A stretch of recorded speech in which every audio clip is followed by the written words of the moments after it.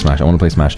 Like, I want to get into games like Valorant and shit because that's what everyone is playing. But Smash is where my heart so- lies. You know? Yeah, like I'm so proud of you for a game like as far as you did in Valorant. Like I'm really proud of you for uh, you know, like thank you. uh, like learning. You're taking the effort to learn. Like I think that goes anybody. Like whether you're Vox or not Vox, like if you're just in the chat, like if you take the effort to learn something like that, like a Valorant, because you want to play with your friends, that, that's so sweet. Like I was like, oh, dude, he wants to play Valorant with us because he wants to like you know HopCon more often and like you know get better at the game. That's so cute. I, I'm willing to teach you and like I'm willing to like you know help you a little bit more if you want to like play more Valorant with us and I'd stuff love like to that. play And more it's the same thing with me, Like I, like I don't mind like it's off stream or on stream. Like not everything has to be about content and stuff. Like I know people want to Mm. watch that shit, but still like hey, I'm down to anytime like play Smash or Valorant or whatever. Just like I think again, it's one of the hardest things about this job because, like, I don't think any of us have ever stopped wanting. Uh, I I don't think any of us have ever stopped being the kind of person who goes into this career wanting to just interact with people they look up to. But then you hit a point where you're working so hard that playing games offline like you have so little time to do it in you know? And i think this it's a genuinely kind of like a magical feeling when someone who is also busy you're busy and then it's like yo do you just want to play a game? And then you get to just kind of like relax. You don't have to worry about making content. You don't have to worry about cracking jokes every five seconds. You just play the game and you just Yeah. hang out with someone who you can now consider like an actual friend it's rare but it's really yeah, really man, beautiful it's so nice to just like not have to worry about it. You just want to play with them and have a good time, and that's all it is. It's That's like hey, all it is. I take yeah. every moment I get to hang out with you guys as much as I can, and it means a lot. It really does mean a lot when you guys take the time out of your day, out of like anybody's busy schedule to like just hey, give me the time of day. It goes a long way, man. It goes such a long way.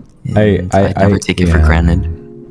Anytime, anytime that you feel like you want to play a game offline, I will, I will do my best. And it's difficult as well because of time zones. Mm-hmm. Because I'm in, I'm in EU, you know, I'm in the UK. And Yeah, dude, time zone's a bitch. Yeah, man.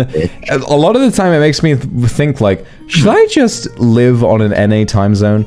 Should I just like, should I should I just stay up until NA people go to sleep and then and then go, and, and and then go to sleep when uh-huh. NA people do and wake up when they when they do as well, so that I don't have to worry about it so much. I can hang out with people more often.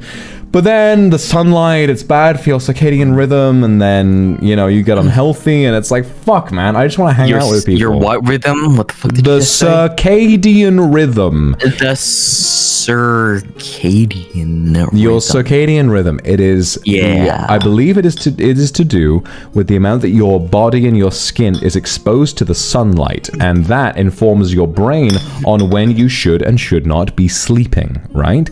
So Yeah, it is uh-huh. essentially something that we evolved during ancient times because the. I know, I know, dude. I took I took science class. Why you're acting like you have no fucking idea? You're like know. the I just want to hear you circadian rhythm. I was like, all right, I'll explain it. You're you're adorable when you talk about these kinds of things. You know that it's it's just cute. I like. I ain't know shit about the circadian rhythm. I just know that it's Uh-huh. what happens when you don't when, when you when you don't go out very often. Your friends are like, "Hey, your circadian rhythm's out of whack," and I'm like, "Yeah, I know, I know." Uh, yeah. oh my god. yeah, I'm a. Oh my god, I'm so tipsy right now, dude. I think this is the most I've ever been tipsy before on a stream. like, Really? ever. Yeah. Like honestly, like I don't. It feels it feels so weird, but I feel still kind of in control. But it's like at that borderline of about. Like, I'm still good. I'm still good. Like I'm still in control in a way. Right, like hold on. Uh, I'm actually completely fresh out of beer, but I have five more in my fridge, so I'm gonna go grab those. I'm also. Oh my I'm- god, you just drank five beers! Yeah, I, yeah, yeah, yeah. And I feel. beers! Yep, yeah, I did. I'm gonna quickly pop off. I'm gonna go grab. I'm gonna go to the bar. I'm gonna Okay. grab some more. So you, I'm gonna leave my chat in your capable hands. All right, So sounds good, man. Stupid. I, I'll see you in a second. my, okay? your chat will be in good hands. Don't worry. Mm. Mm.